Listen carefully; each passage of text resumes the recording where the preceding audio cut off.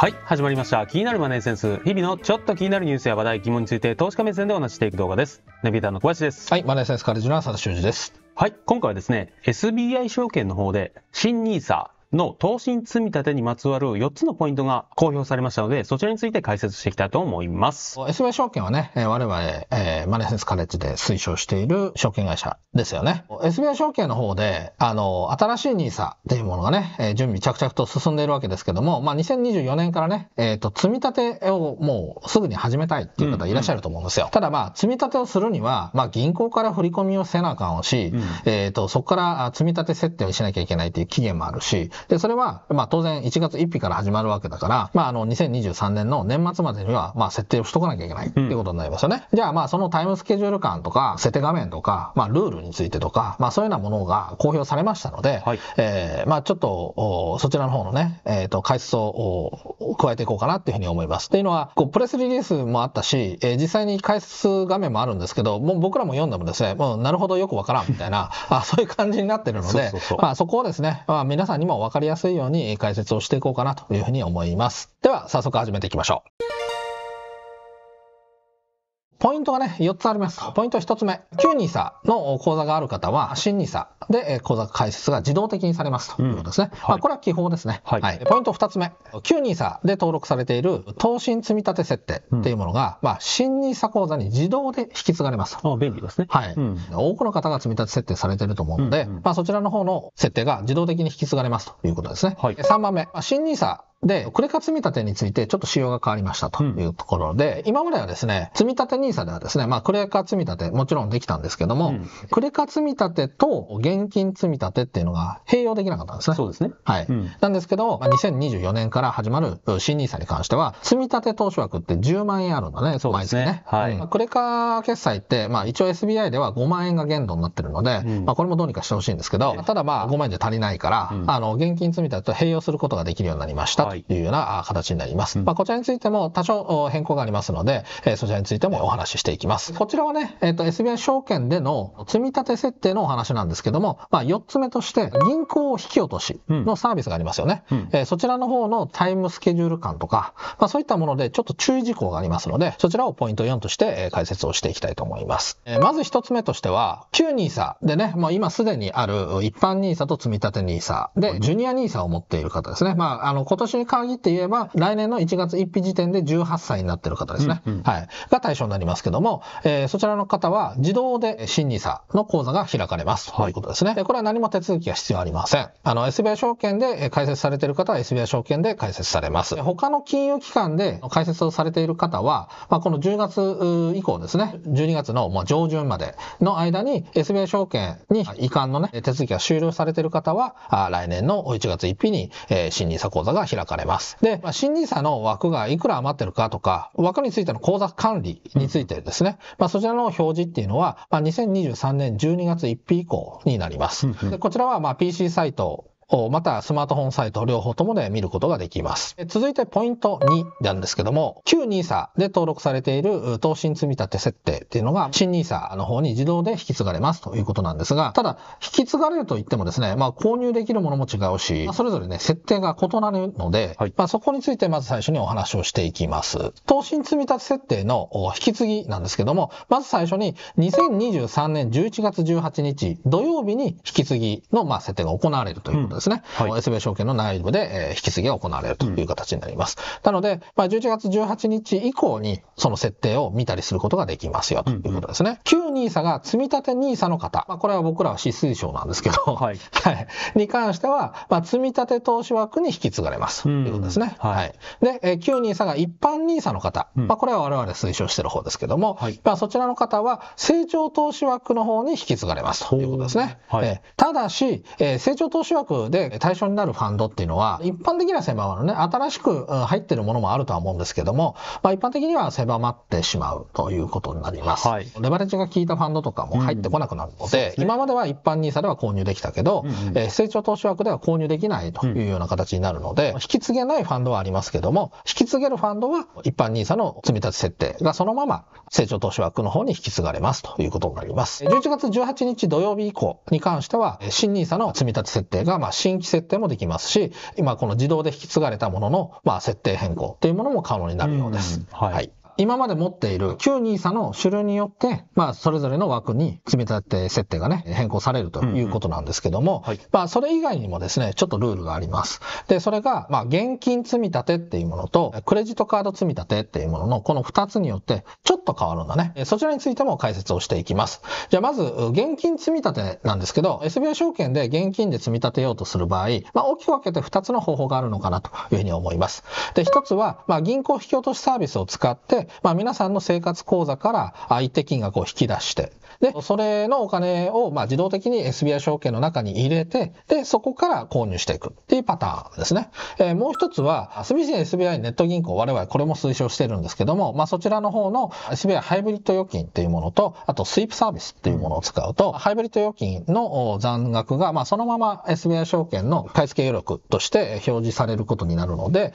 まあ、そちらの方を使って、ま、積み立てをする。住信 SBI ネット銀行の方に一回振り込んだり、自動入金サービスを使ったりとかして、まあ、お金を引っ張ってきて、そこからまあハイブリッド預金に振り返して、まあ、そこから購入するというパターンの2つがあるのかなと思いますけども、こちら両方とも同じです。はい。どちらも現金積み立てとして理解していただいて結構です。で、えーもう一方はクレジットカード積み立て。まあ、これはね、えー最近始まったものですね。まあ、SBI 証券の口座開設を普通にされている方に関しては、クレジットカード積み立てっていうのは、まあ、三井住友カードから行われるんですけども、はいそれ以外のね、高島屋とか東急とか、まあそういうような、いわゆる提携口座として、えーされている方は、それぞれのカードがあると思います。そちらに関してもクレジットカード積み立てになりますよということになります。それぞれ引き継ぎ方が異なるということなんですね。まずは、現金積み立ての引き継ぎについてお話をしていきます。えー現金積み立ての引き継ぎは、当然ですね、えー同じえー投資信託で同じ積み立て金額で自動的に引き継ぎされるわけですけど、これ追加されるんですね。追加。はい。うん旧 NISA の積み立て設定はそのまま残って、うんえー新 NISA のお積み立て設定が、まあ、新たに加わるという形になります。ほうんで、それぞれは共存して残るんですけども、2023年の12月30日以降に、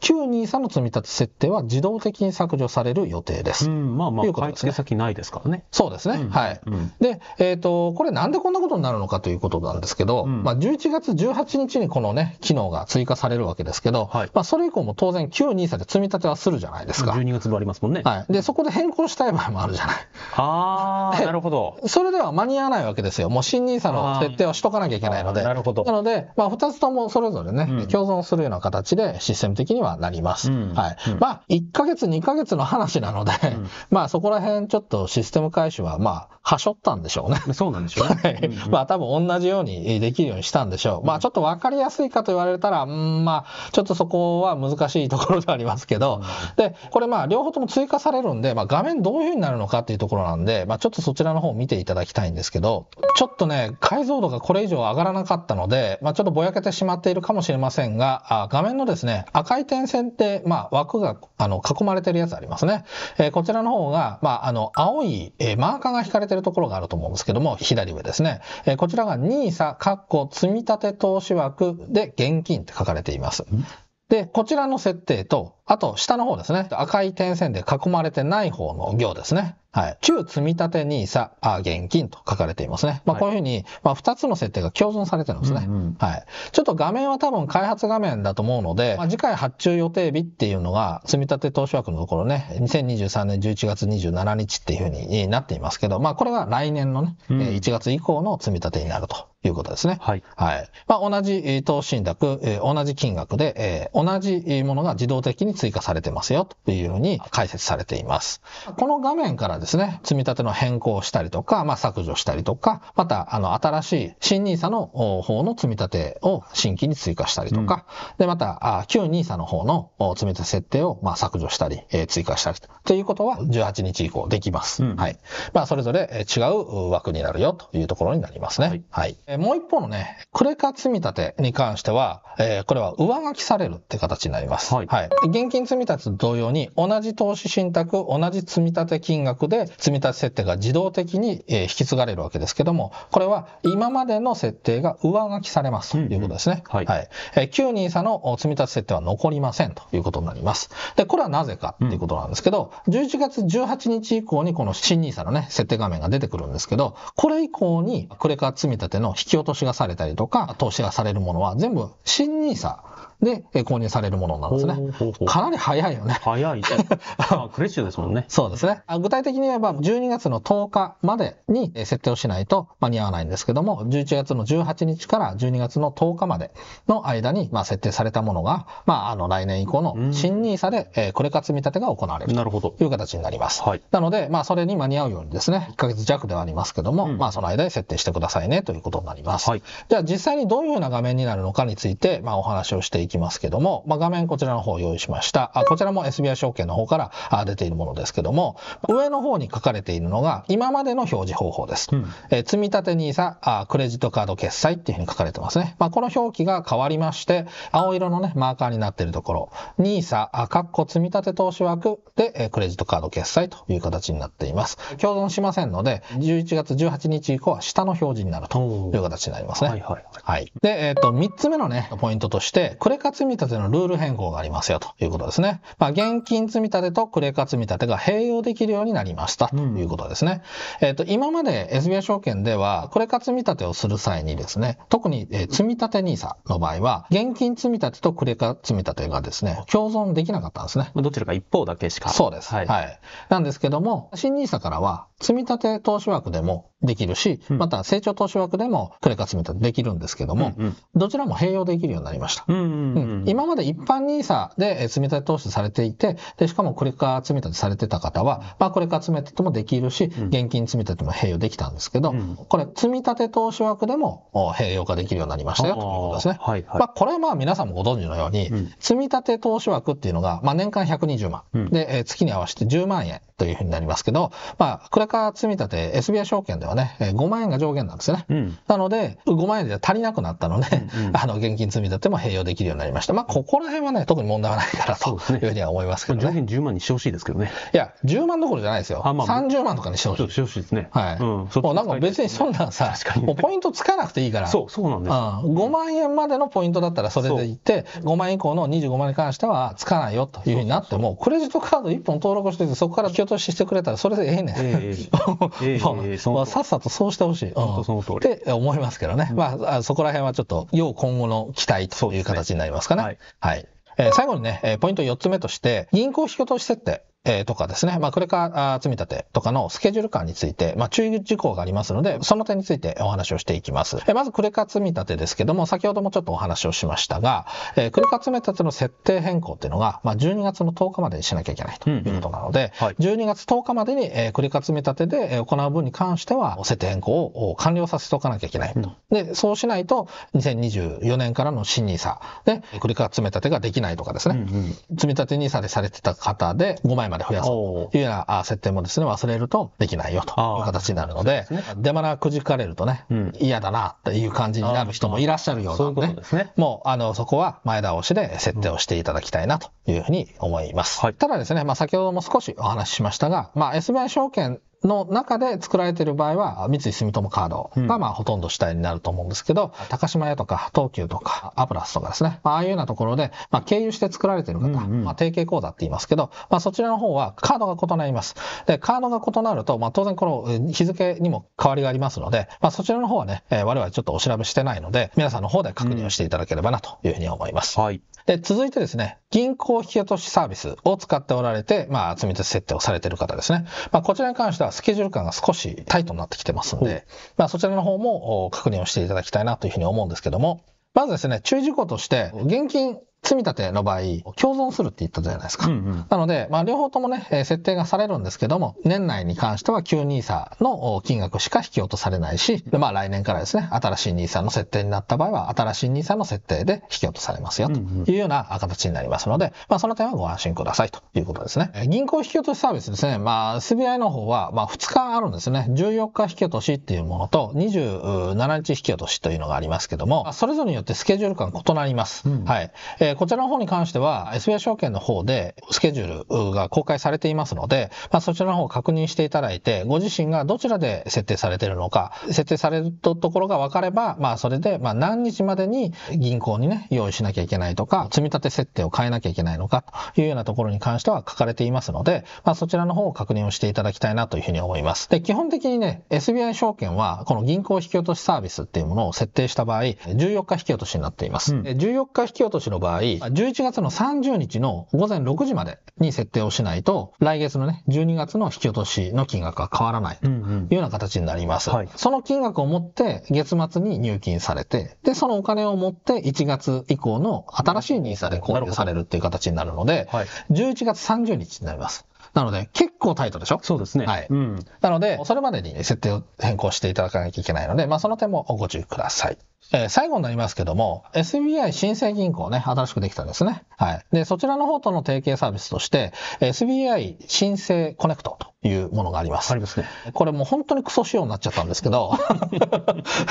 あの、年内の銀行引き落としは重複しません。二つ設定が残ってるけど、年内は旧 NISA、うん、で、年始からは新 NISA の金額がそれぞれ引き落とされるっていうふうになったんだけど、はい、SBI 新生コネクトに関しては、両方とも引き落とされます。年内に？はい。倍？設定金額変わる可能性があるから、まあ、何も変更しなければ倍になります。はい。で、倍の金額が引き落とされて、うん、年内は当然、旧 NISA だけが積み立てされるし、なるほど。で、お金ちょっと余っちゃうよね。そうですね。はい。はい、まあ、そういうクソ仕様になったそうです。ちょっと意味がよくわからないですけど、そうなんですね。はい。はい、僕らはね、住市 SBI ネット銀行を推奨してますので、はい、こういうのもね、ちゃんとね、あの、僕らがいろいろ考えて推奨してんのに、そういう変なことをしようとすると、まあ自分自身でいろいろやらなきゃいけないようになるよと。まあ、だからね、え誰かのアドバイスを聞くっていうのは、まるっとしなさいと。もうなんか私の都合のいいものだけやりましょうっていうのはね、まあ別にいいんですよ、それでも。わかる方はね。うんだけど、わからないから聞いているっていう方に関してはですね、会員制とかに入って、うんうん、こういうふうにやってください、推奨しますというふうに書かれてるものはね、うん、まあ、その通りにやってもらった方がいいんですよ。はい。はい。ちょっと愚痴になりましたけど。はい。はい。で、これね、もうもっと注意点がありまして、うん、SBI 新生コネクトで引き落としみたいな形で SBI 証券の方のね、口座に入れるわけですけど、うん、例えば3万円積み立て設定されていて、で、新 NISA の方のね、追加されますよね。そうですね。で、これ6万円になりますよね。ねで、6万引き落としされるっていうふうになるっていうクソ仕様じゃないですか。はいはいはい、で、えー、そうなったとして、うん、で、この6万円が SBI 新生銀行になかったっていう場合どうなるかっていうと、これ積み立てもされません。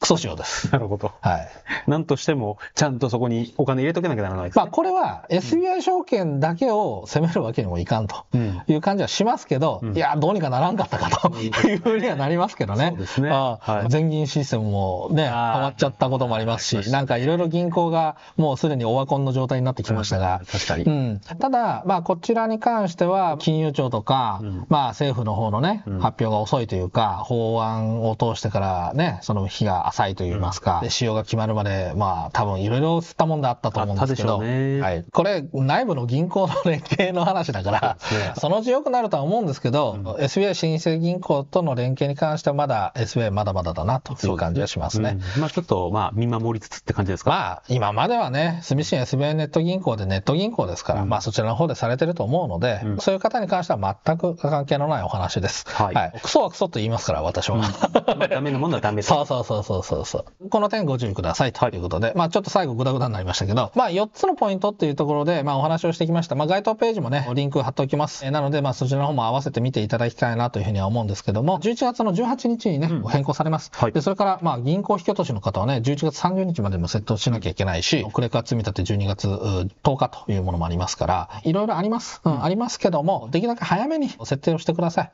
で、画面にも慣れるっていうこともありますし、はい、うん。ちょっと読んでいてもよくわからないなっていうところを、お使いとか僕らのね、説明で、ちょっとわかりやすくなったんじゃないかなっていうふうに思います。はい。まあ、ぜひ参考にしていただいて、新ニさのね、準備をしていただけたらなというふうに思います。はい。はい。そしたら最後になりますけども、マネーセンスカレッジでは日本人すべての方にお勧めできる投資戦略、全世界投資が学べるチーム7%を運営しています。ご興味のある方は概要欄をご覧ください。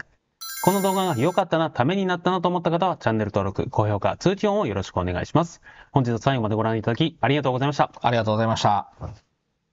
thank you